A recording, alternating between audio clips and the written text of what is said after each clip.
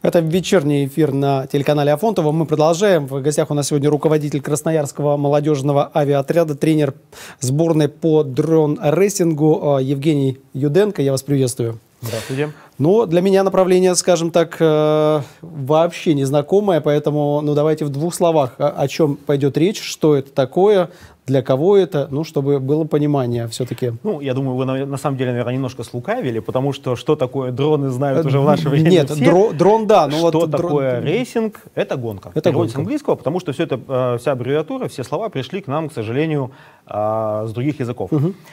По сути, это обычная воздушная гонка. Только применяются определенные технические устройства. В данном случае это беспилотные летательные аппараты. Или более правильно сказать, дистанционно пилотируемые. Угу. И как и в любом другом виде спорта, то есть что такое спорт? Спорт — это демонстрация возможностей человека. В данном случае это демонстрация возможностей человека по сверхсложному пилотированию маленького летающего устройства. То есть это как вот э, некий такой вид э, спорта, который, в принципе, уже существует? А, на самом деле это уже официальный, официальный вид спорта. Уже. Да, то есть если немножко углубиться в историю, а, в 2017 году благодаря Арабским Эмиратам этот вид спорта стал очень известен на весь мир. В 2018 году Международная федерация модельного спорта его признала. А, получил, э, данная дисциплина получила индекс F9U, и с этого же года она стала официальной и в России. А индекс этот что э, обозначает или к чему-то обязывает? На самом деле здесь все очень просто. Э, авиамодельный спорт, он очень старый, ему более 120 лет. Угу. Если мы будем брать в целом по миру, это более 100 дисциплин. Если мы будем брать Россию, это более 70 дисциплин. Это абсолютно разные. Это модели самолетов, вертолетов, радиоуправляемые, кордовые, свободно летающие, планера. А теперь, а очень... а теперь вот дроны. Очень много, да. И появилась новая дисциплина, это дрон-рейсинг, гоночные э, квадрокоптеры. Слушайте, ну я на самом деле думал, что вот э, эти дроны как раз используются только для одной цели, по большому счету, поднять, э, подняться на высоту, сфотографировать вот красоту, которую мы так или иначе время от времени видим, да, в интернетах, э, что делают известные фотографы, и в том числе в нашем городе. Но то, что это теперь еще летает, летает на скорости, и как это вообще выглядит, эти соревнования. Есть определенные воздушные трассы, есть определенные какие-то рельефы, где это можно делать. Это, назовем так, стандартная классическая круговая гонка. Угу. Одновременно в ней летают от 4 до 6 летательных аппаратов, ну, соответственно, от 4 до 6 операторов их пилотируют спортсменов.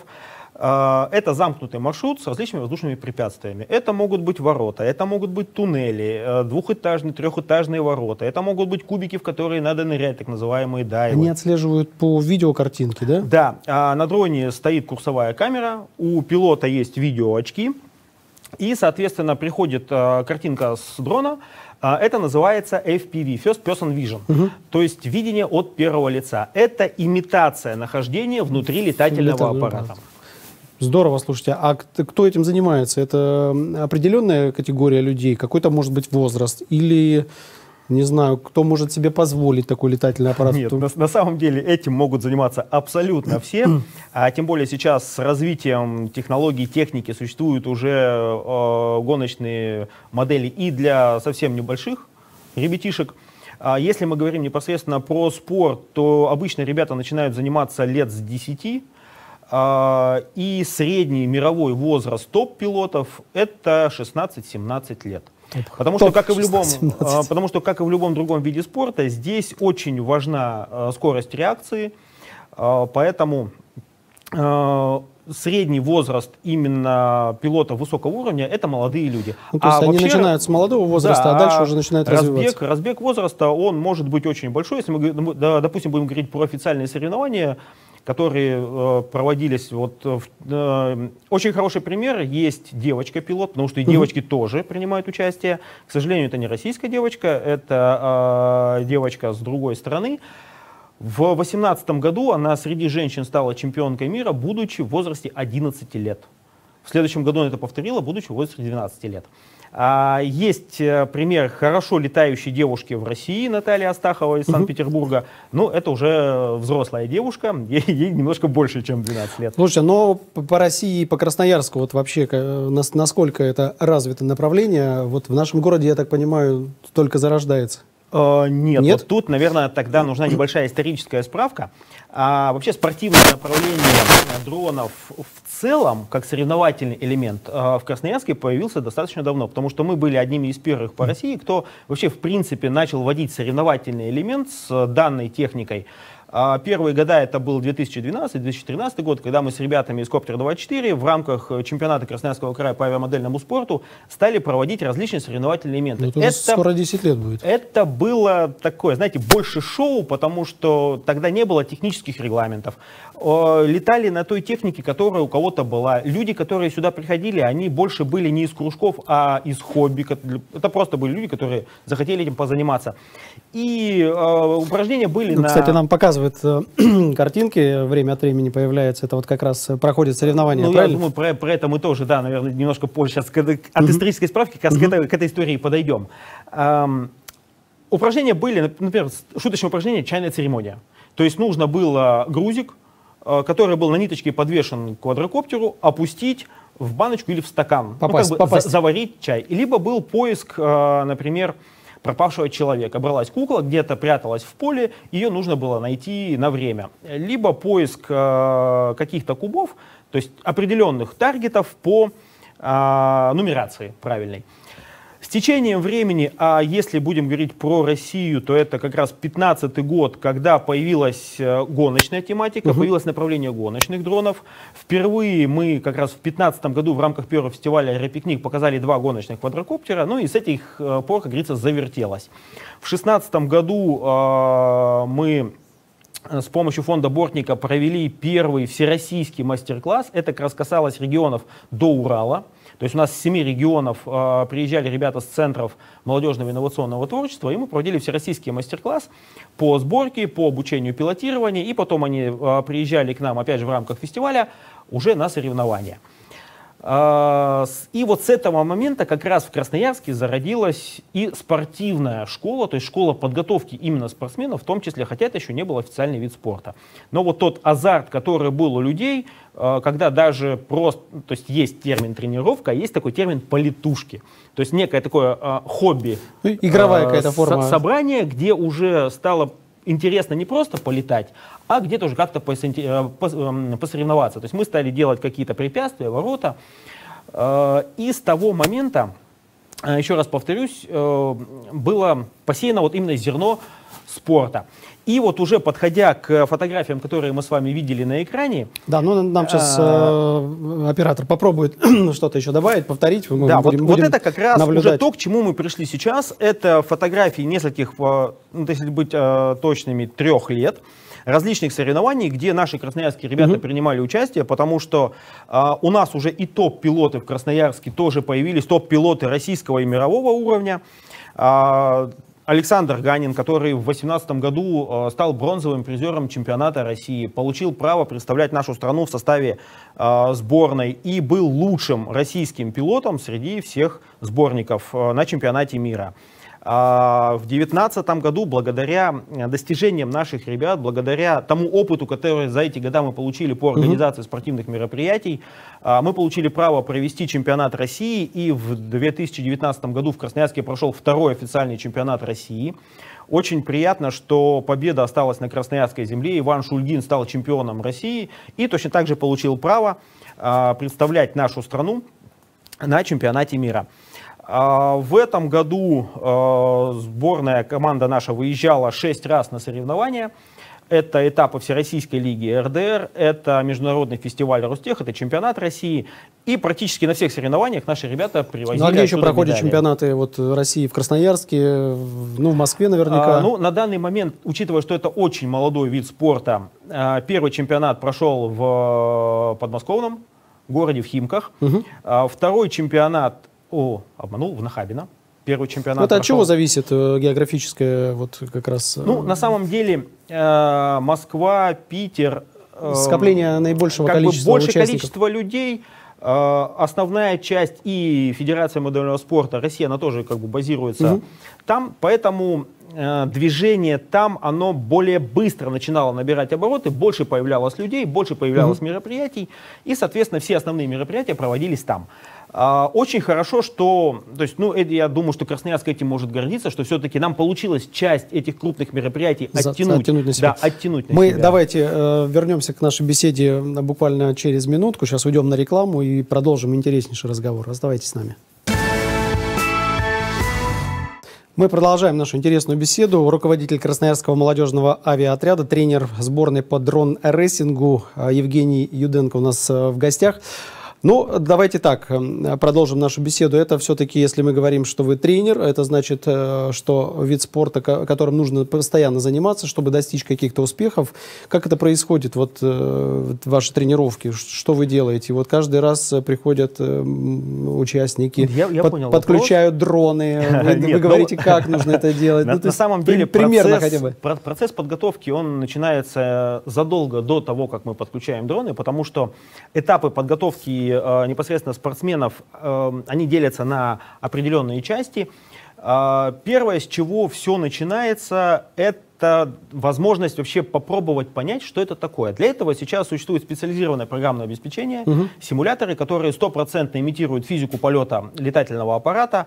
А, к нему, э, то есть к компьютеру подключается реальный передатчик, которым управляются реальные дроны, и мы управляем дроном э, в цифровом пространстве. Ну, не, некий цифровой класс, да, где компьютеры да. и ваши а, спортсмены потому, сидят. Да, потому что э, любая техника, которая летает, неважно, дроны, самолеты, вертолеты, она сложнее в управлении, чем лодка или автомобиль. Угу. У нас больше степеней свободы, у нас пространство, соответственно, этому нужно а, немножко потренироваться. Если мы говорим о каких-то высоких результатах, то это немножко перерастает в много. Сейчас э, в этих же самых симуляторах э, появилось большое количество эвентов и соревнований, которые точно так же стимулируют молодых начинающих пилотов для того, чтобы э, войти, участвовать, тренироваться. Ну а те, кто уже умеет...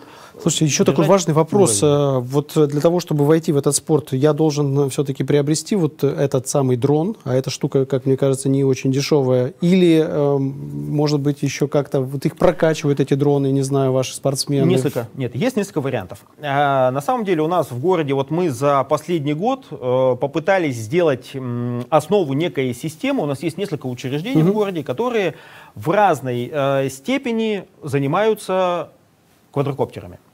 А, например, очень хороший пример этого года, это у нас совместная деятельность э, с Кванториумом, где ребята вначале э, получают какой-то базовый опыт э, работы угу. с дронами, базовый опыт полетов, базовый им предо... и, предоставляют им. Да, это все в рамках учреждения. После этого, когда ребята вырастают, они приходят к нам, и мы уже даем спортивную подготовку и более усложненную работу с техникой. А, сейчас еще появляется в различных, ну, например, там в гимназии Универс, а, сейчас у нас точно так же работает площадка. Поэтому для того, чтобы начать, нужно просто выйти с нами на связь, либо зайти на нашу страничку в любой соцсети, задать вопрос. Мы подскажем, где это можно ну, начать. Или просто прийти посмотреть, да. как это происходит. В вот этих учреждениях есть некие базовые комплекты, Естественно, мы не говорим о технике чемпионатных там классов или мировых классов. Но это уже прокачанная но техника. это уже техника, на которой можно не только тренироваться, но и участвовать в соревнованиях.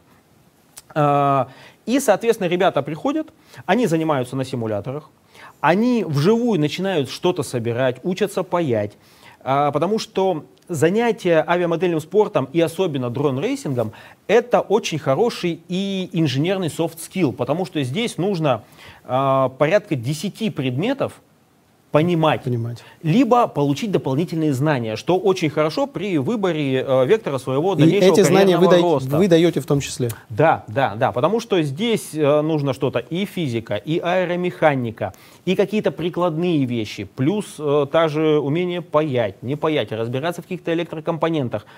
Что такое закон Ома как минимум, и когда приходят ребята, например, не знающие это, но с этим сталкиваются в каких-то более простых и более интересных формах, чем стандартный урок в школе, они точно так же получают знания по этому моменту. Потому что данное направление на самом деле это очень хорошая а, ступенька и для своей будущей карьеры. Потому что очень многие ребята, которые проходят через это направление, в дальнейшем выбирают инженерные специальности. Помимо... Становятся пилотами, например. Не только. Не только. Инженеры, конструктора, авиатехники, э, просто инженеры. Э, плюс к этому э, здесь формируется очень хороший психологические качества, очень хорошо тренируется и организм в том числе, потому что любой вид спорта это хорошая физическая подготовка. И казалось бы, мы сидим на стуле, держим передатчик, в видеоочках управляем дроном. Не тут-то было. А, самое, наверное, что хорошо тренируется при занятиях а, дрон-рейсингом, это вестибулярный аппарат. А, плюс к этому, ну, потому что кто бы что ни говорил, вот очень многие ребята, которые приходят, ой, у меня закружилась голова. Да, по первости бывает, что такое кружится. Но вестибулярный аппарат очень хорошо тренируется.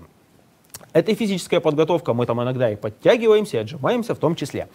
А, потому что здесь и дыхание нужно, и нужно очень много примеров работы. Евгений, я вас перебью, знаете, по какой причине? Я сейчас э, вот слушал, даже вот э, практически не задаю вопросов, потому что ты слушай, и это реально интересно. Я хочу вот сейчас зрителей наших пригласить э, к вам, и э, назвать, куда можно прийти, во-первых. Во-вторых, да, вы, вы мне подскажете, может быть, какое-то ближайшее время будет какое-то мероприятие, куда можно прийти ознакомиться э, со всем э, вашим э, вот этим новым направлением, видом спорта. Чтобы записаться в молодежный авиаотряд, нужно всего лишь на все позвонить по телефону 226 41 90 и либо 275 68 20. Молодежный центр технического проектирования по адресу Алеши Тимошенкова, 87А.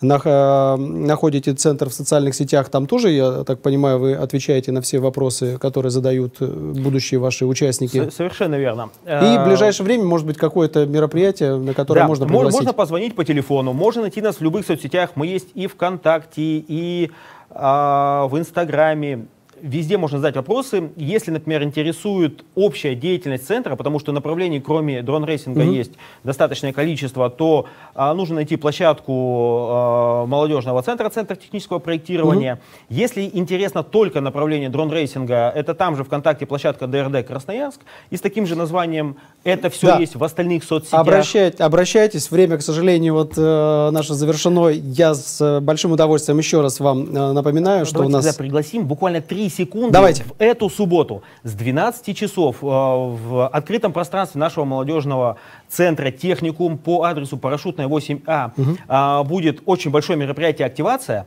Э, в рамках этого, то есть Программа мероприятия есть на страничке молодежного центра. Можно посмотреть, когда какие угу. будут лекции, мастер-классы, либо другие. Ну, в общем, в субботу с 12 да, до... И там будут обязательно симуляторы. Все. Можно попробовать полетать на гоночном Все, дроне. спасибо. Евгений, э, Евгений Юденко у нас был сегодня в гостях, руководитель Красноярского молодежного авиаотряда.